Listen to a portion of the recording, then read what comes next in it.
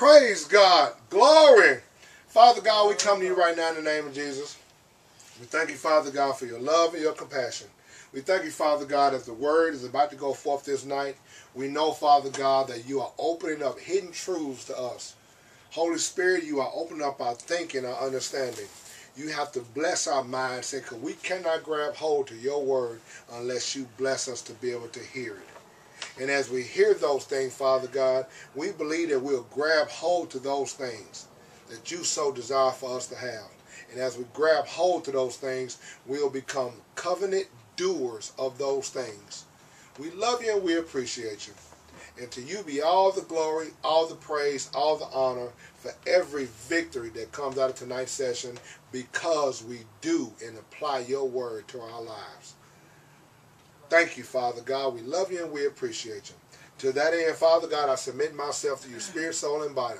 Use my mind, use my heart, use my mouthpiece to minister your word to your people this day. We love you, Father God. And everybody who agreed with that prayer say amen. amen. Turn your Bible to the book of First John. Get that off your head. You ain't outside. Turn your Bible to the book of, not First John, Third John, I'm sorry. Third John. Third John. Third John. The last time we left off, we left off with uh put this thing up, boy. Let's see. Look what it says. Let's just go. Let's read down from verses one through verse five, and then we're gonna pick up at five. Because if I remember right, that's where we left off at in verse four. I think we got stuck at verse four for like two weeks in a row. oh yeah. Um, we did verse five. Yeah, we did. Beloved, that do is faithful. So that do is to the. But yeah, we did verse five. Let's read down verse one through five, and then we're gonna pick up at verse six. You're right. Thank you. Good memory. You know, as the Spirit of God's been revealing this thing to us about this word truth, about the truth of His word, as I've been as I've been studying it. Well, I, will get to that in a second. I, I just pick up where I left off. As I've been studying it, let's read down verse one through five, and then we're gonna get to that. It says, "The elder unto the well beloved Gaius, whom I love in the truth." Beloved, I wish above all things that thou mayest prosper and be in health, even as thy soul prospereth. For I rejoiced greatly when the brethren came and testified of the truth that is in thee, even as thou walkest in the truth. I have no greater joy than to hear that my children walk in truth. Beloved, thou doest faithfully whatsoever thou doest to the brethren and to strangers. Praise God for his word. Like I said, as I've been studying more and more and more, about this word truth and about doing truth in, in our everyday life. Sometimes we'll, as us persistently trying to apply this truth to our lives, we'll come across mistakes that we're going to make. We'll come across those mistakes. And as you make, make those mistakes, that's when Satan pounces in on our thinking. I want you to hear that. He'll pounce in on your thinking. Uh, me and my wife was discussing earlier today, and some sometimes, sometimes, you, as you're acting out the word of God and you're, you're doing it, you're walking in love, you're doing things to the brethren and to strangers. If you make a mistake, you say the wrong thing, or you do the wrong thing, Satan will jump in on your in your brain, and he'll get you to start thinking that because you made that mistake, you're no longer walking in truth. Well, thanks be to God that God adds something else in His Word. What did He say? He says, if a brother have trespassed against you, you go to your brethren. You go to your brethren. Well, that's those things are what we call corrective action. Um, the world uses it, or companies use it all the time. Uh, y'all heard me mention a few weeks ago about um, uh, uh, using a corrective action form when you have to write somebody up. It's like if somebody make a mistake one time, it, says it on the corrective action form. It's called the the first one is called a verbal warning. Stop it. You did something wrong. It's not to try to beat you down. It's to show you the mistake that you made. And yeah, they put it in and they put it in your your folder, your file. But thanks be to God, God doesn't keep a, a record of your, all your mistakes. Man, thank you, Lord Jesus. The world will. The world will, but God doesn't. But God, within His infinite wisdom, He gives us an opportunity to correct those mistakes. Same way, if you make a mistake against somebody else and you realize you make the mistake, you just go to the brother and say, hey, sister, say, hey, brother, I, I did this, I made a mistake. Will you please forgive me? What are you doing? You're just you're correcting your own mistakes. You're correcting your own mistake. You're correcting your own mistake. You're correcting your own mistake. You're correcting your own mistake. That is the main reason why God tells us to live righteous. Because once you start reading the Word of God and you start looking, what does it say in the book of Corinthians? Any man, well, hold your finger there. No, no, no, no, stop. Because if I'm jumping ahead, I'm jumping ahead. Slow it back down. Let me let me bring in verse six first. Because I, I, I just go, man. I just go with it. Look what it says here.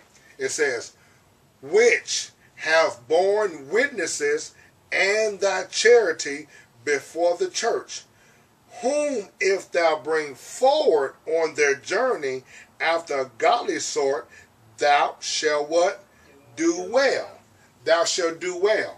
Thou shalt do well. He's talking about this godly sort. You'll do well. You'll do well. Watch this, verse 7 again. Let's verse not verse 7 again, but verse 7. Because for because that for his name's sake they went forth taking nothing of the Gentiles. They went into a whole nother culture of a race of people and they went in just obeying God. Now think about it. When you go into a different land, like me, if you look at me, I'm a black man.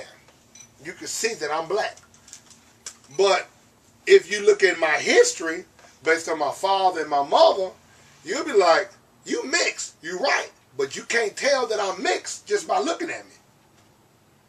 You you can't tell. You look at him, he's like, oh, he a brother. Uh, yeah, cause I, I mean, I fit right in with black folk. But now that I'm married to a Caucasian lady, I'm going into a whole nother level of trying to fit in with another culture another race of people. That's what's going on here. That's what's going on here. That's what's going on here. Look what John is doing. Look what he says. Which have borne witnesses of thy charity. You have brought forth witnesses of your love toward the brethren and or to strangers. People can see that you genuinely do care about other people. They can see it. They can see it. That's the man. Do not ever sit up here and think that when he don't have enough money or or or he's struggling in this area or he don't have enough he don't have enough uh, clout or the world will call swag. You know no no can't how you gonna uh, say that I ain't got no swag? Man swag ain't got nothing to do with nothing. If you walking in love with people regardless of people's race, ethnicity, religion, or their culture, or even their sexual preference. Whether they're homosexual or lesbian, it don't even matter what color you are, Chinese, Africanese, Blackanese, Whiteanese, it don't even matter what color you might be. If people can see that you genuinely do care, they'll pick up on that. They may not like a lot of the stuff that you stand for, but they'll be able to see it. That's why it is so important that we live a righteous lifestyle before people. We have to always, us as believers, we should always always, always be watching uh, how we are acting toward people. What you say out your mouth, what you do. Because as soon as you make a mistake, Satan, yeah, he gonna jump in your thinking as well as he gonna jump in somebody else thinking. Cause he don't remember we got an enemy out there. Now I don't now don't now I don't want to nothing about all this stuff. People coming up on this this crazy stuff on TV and they saying what the devil made me do. Man, the devil can't make you do nothing that you don't want to do. Can't make you do nothing. Bible say, um, don't let a man say when he, uh, he is tempted, he is tempted of God. You can't say when you tempted, you tempted of Satan. Because God, one, God don't tempt nobody else. But when you drawn away, you are drawn away of your own lust, your own desire. The word lust in itself is not a bad word. It's not a bad word. I desire. It's, it's just another way of saying desire after. Like me, I desire or I lust after. The Bible tells us what it said in First, uh, First Corinthians. It says that we should covet the best gift. That same covet that God says to us not to do. But he tells us to covet these spiritual gifts. See, y'all looking at me. That, that's why I want to go. Go over to the book of Corinthians. Y'all looking at me like, I ain't never read that in the Bible. go over to the book of uh, uh, 1 Corinthians chapter 12.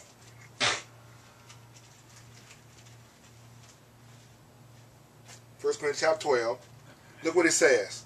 Drop all the way down. If you go read down to, well, let's just go read verse 28. Then we're going to get to it. Look what it says. Verse 27. We've been kind of like studying on this. And we briefly studied on it uh, through the uh, Sunday morning uh, services. Where we've been studying on, you know, fulfilling your function, the purpose. And we've been bringing all together, all these different gifts. Look what it says, verse 27. Now ye are the body of Christ, and members in particular. We are the body of Christ. We are the body of Christ. We are the body. We are the body.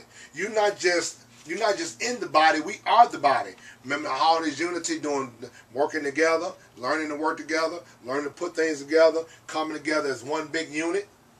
There's one big unit. Jesus being the head of the church. We are the body. I'm you seated at the right hand of God. Look what he said, verse 28.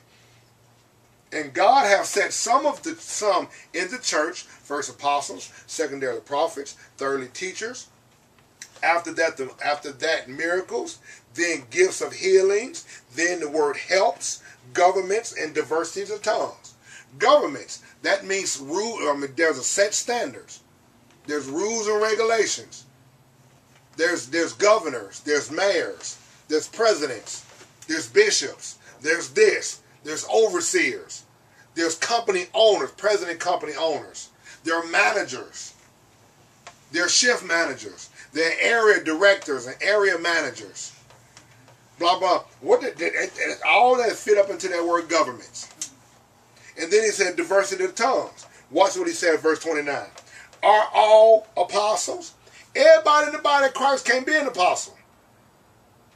I'm not an apostle. I might be one in 10, 20 years from now. But right now, I just know I'm a pastor. That's it. And I know I'm a teacher. I also know I'm a father. Uh, uh, Dr. Frederick K.C. Price, 30 years, uh, was it 40 some, 40 some odd years ago, he didn't set out to become an apostle. He just started obeying the word of God.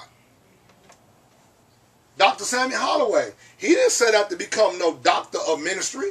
He just he just he just walked he, he just kept obeying God and then now he's fulfilling that role. Look what he says. Are all workers of miracles. Everybody can't be a Benny Hinn. But what did he say? Having have all the gifts of healing. Everybody don't have all the gifts of healing. Do all speak with tongues? No. I'm born again, baptized, filled with the Holy Spirit. You might just be born again and you ain't baptized and filled with nothing. You just born again. he said, do all interpret. Me, I have tried. I've practiced it. Tried to step out there and interpret tongues. I tried to interpret my own tongues.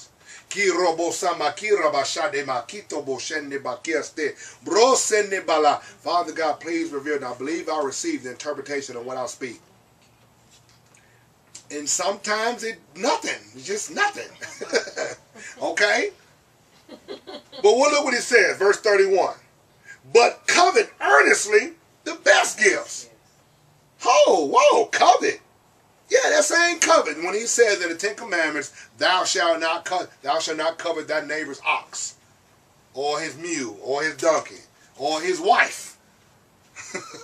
you don't covet nothing, but the same word covet. So the word lust, he said, covet earnestly the best gifts, and yet show I unto you a more excellent way. A more excellent way. When when you get before people and you walking in love with folk, People will be able to pick up on that. You covet the uh, to loving people. Now it's gonna be a bunch of I told you souls once Jesus come back. you might not ever say it, but it's gonna be a bunch of them. That's one of the reasons why, like, like, uh, what is that? I, I, I mean, I'm not gonna fall out of love with you if we having a discussion about certain scriptures. I'm not gonna fall out of love with you. If you wrong, or if I'm wrong, when Jesus come back, we'll just go before Jesus. Jesus did such, such, such, such, such. Well, no, Ivory, this is where it was. If I'm wrong, you going to be in a position to say, I told you so, Ivory. As well as vice versa. Why? Because it, it, it, it, does this, me arguing with you and getting walking out of love, getting out of love with you, is it going to keep either one of us from uh, going to heaven or ending up in hell? No, then just let's agree to disagree. and then move on. Oh, come on, man.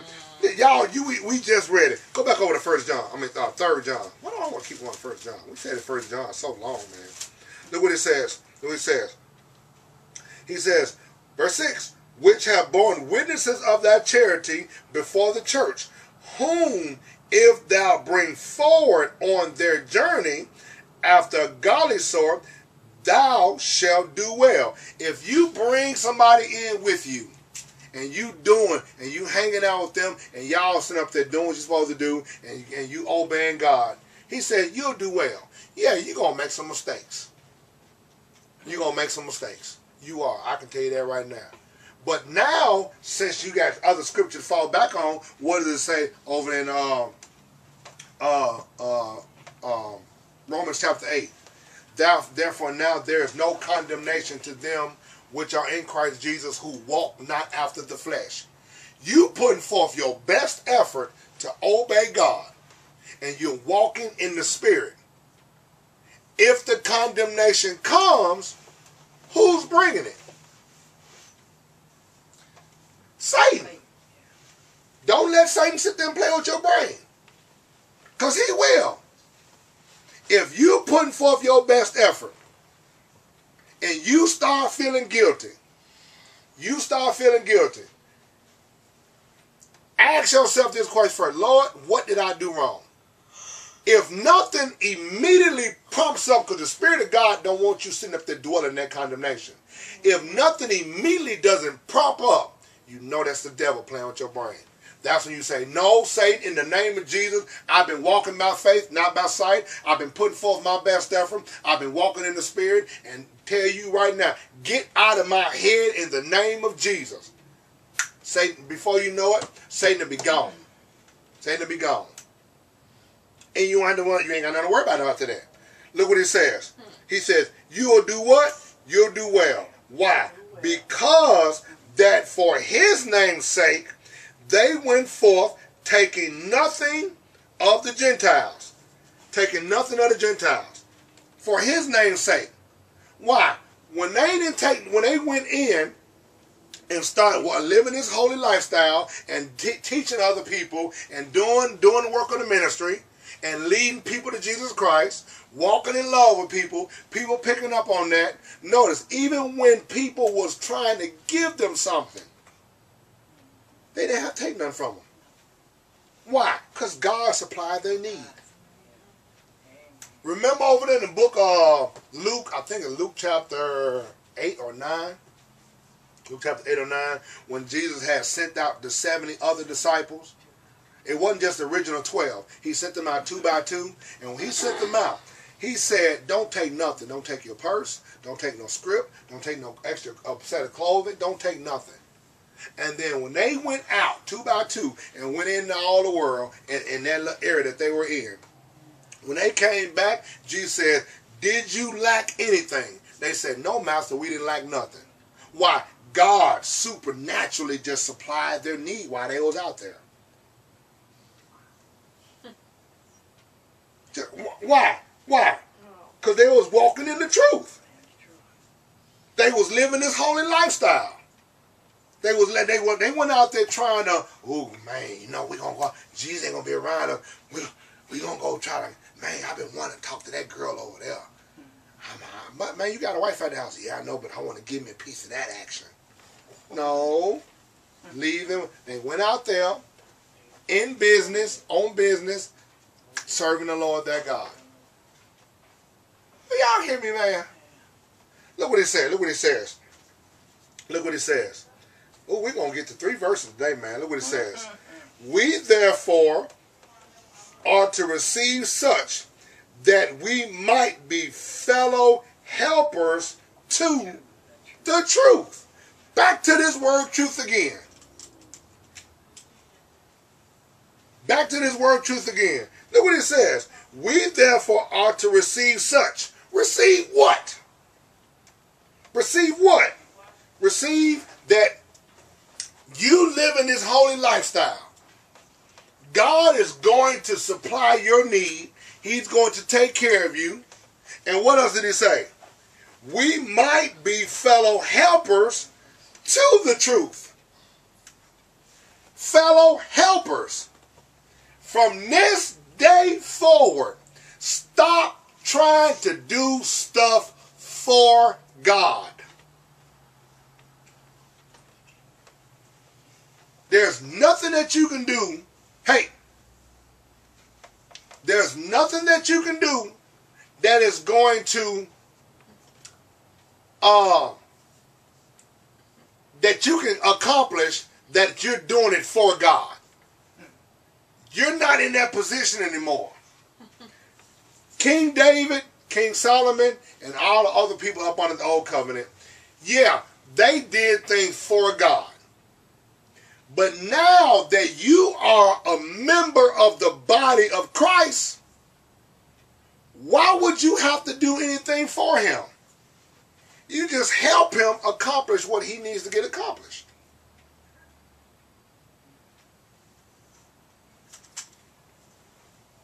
Oh, Lord Jesus. Y'all hear me? Y'all looking upside my head like I'm just speaking Greek. Okay, I'm going to say it again. There's nothing that you can do that is going to make God receive you anymore. There's nothing that you can do that is going to put God in a position to where that you have to uh, approve yourself to God. There's nothing that you can do that is going to um, increase your status with God. You just read, you are already in the body of Christ. You're already there. The only thing that you can do is live this righteous lifestyle before mankind. And when you do that, you become a fellow helper to this truth that Jesus is the Christ. Jesus is the Messiah. Jesus is the Son of the living God. You become a helper to it. Just like in just like in businesses. People are always trying to become well not people not always. It's some people all they, they don't want to own nothing. It's that they don't, you, you can see that in people's walk now. They don't want to own no car. All they want they, all they want to do is pay a car note on it forever. That's why it is like that. You don't even see commercials anymore. I ain't seen a commercial in so long to where you can uh, buy a car and become an owner of it. they're always talking about what? Leasing it. Talking about renting it. Even when it comes to homes. If you own your home, if you own your own if you own your home, they consider you owning this home only because you put down a down payment on it. But if you put down a down payment on it and you making a monthly note on it, technically you still don't own it. Why? Because you don't have the um, the documentation for it. You you don't have the deed to the house. Then they come with this swooping thing. If you want to own your home, you can refinance it. So now I'm gonna refinance my house, put myself more in debt for another 10 years, just so I can get an extra 10 grand right now or extra 20 grand right now, which is prolonged keeping me more and more in debt. God says you are in the body. And by you living this righteous lifestyle, you become a helper, a helper, or a partner. You become a partner in the testimony that Jesus Christ is the Son of God. Oh man, I'm, come on, people, get this. I'm preaching this better than you getting it. I want you to open your ears. Holy Spirit, open up their understanding because they're looking at me like I'm crazy. They, they, they're hearing it, but they're not hearing it.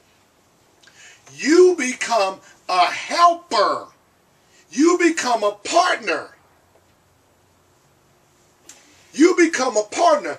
Didn't God say, didn't God say that he said, I shall live and not die, and I shall show forth the works of the Lord thy God.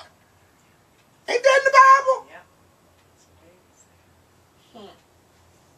I shall show forth. Watch this. Turn your Bibles over to. Oh man, my clock. This ain't like that clock just be ticking away quick. Look what it says. Turn your Bibles over to the book of James. To the book of James.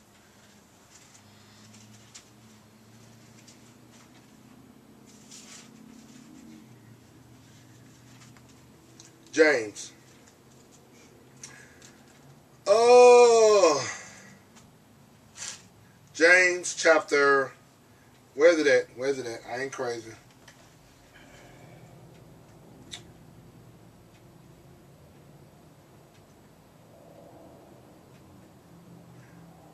Brother, have not the faith.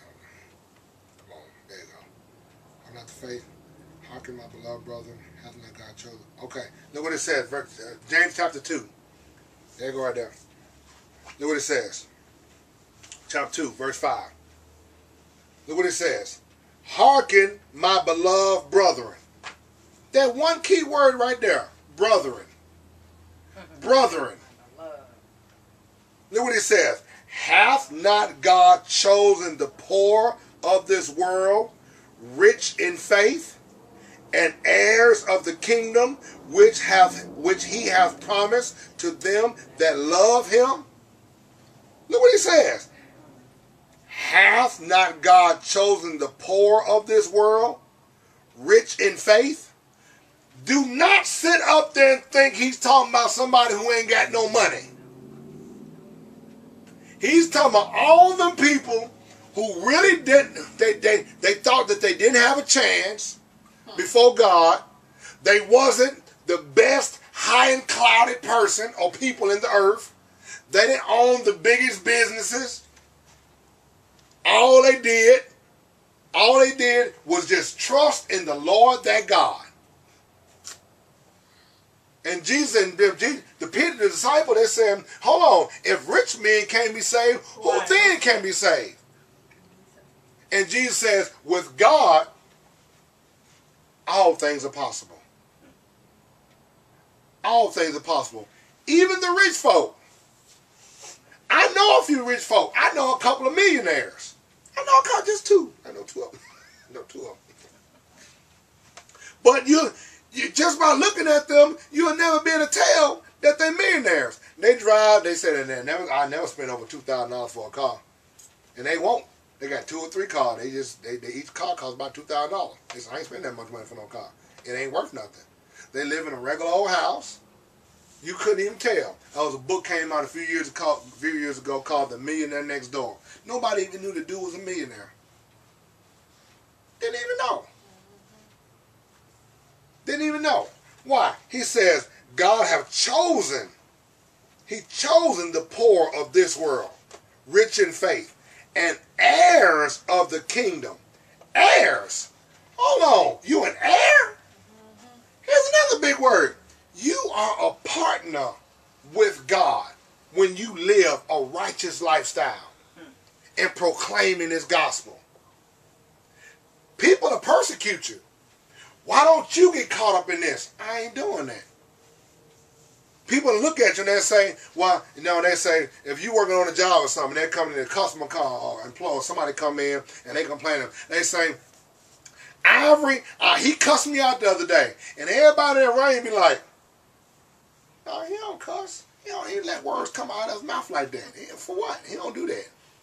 Ivory tell a dirty joke? I ain't, I ain't even Ivory. You just putting on a two-face. You two, you two-face. You you front, you faking the front. No, I act like this around my wife. Act like this around my children. I act like this around my boss. Act like this around my employees. I act like this around my family. This is how. This is who I am. I don't have to put on the front. Now you are giving a description of who Jesus is before mankind. What did Jesus say? He says, You are the light of the world. You let your light so shine before men that your, your good works will glorify God. Why? Because I am a fellow helper of this truth. I'm I, I'm not the truth. I didn't come up with it. Jesus says he is the way and the truth and the life. He is. But I'm a fellow helper in proclaiming this gospel before men when I live righteous. When I don't get caught up in all that stuff. Glory to God, man. Go back over to the book of Third John. We're gonna we're gonna come to a close here. We knocked out three verses today, people. Look what he says. Let me read that again, verse 8. We therefore are to receive such that we might be fellow helpers to the truth. Receive what again? Receive this information. Hey, God wants me to prosper. He wants me to prosper, even as my soul prospers. Why? Because I'm walking in this truth. What truth? That Jesus is the Christ, the Son of the living God,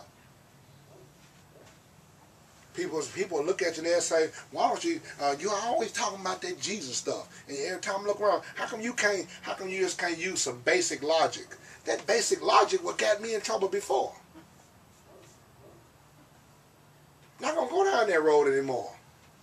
I stand boldly before the throne of God. I, I, like to be able to go before God without having a sense of guilt and condemnation. I, it, it's a it's, it's it's it's a it's a whole better life than walking around. Well, I don't feel guilty. You trying to tell me? And, and maybe you don't. maybe you don't.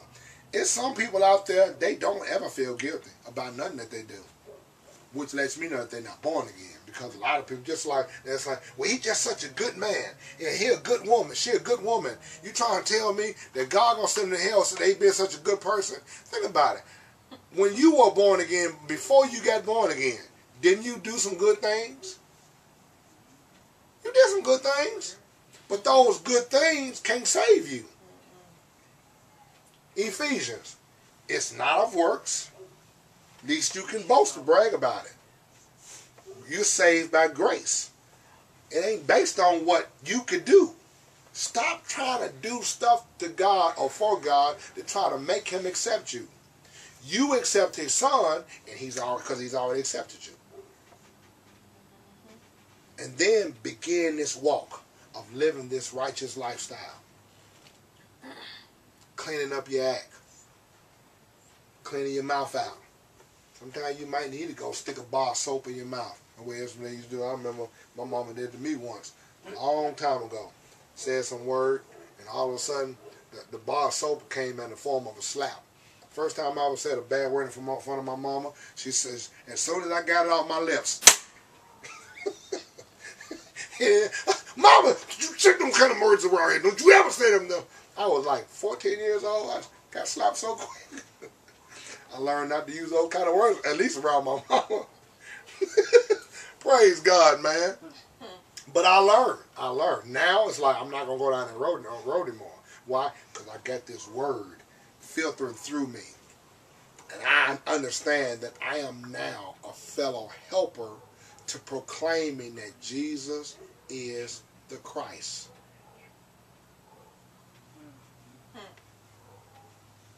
I'm a fellow helper to it. I'm a fellow helper to it. So you can take anything from that. When you live righteous, remember you are a fellow helper to proclaiming that Jesus is the Christ. That's why don't let Satan bring condemnation to you because when you make that mistake, he'll beat you up, man. Man, he'll try to jump on you and make you feel guilty. And you just say, no, Lord, I'm sorry. Forgive me. And you get back in righteousness. Hmm.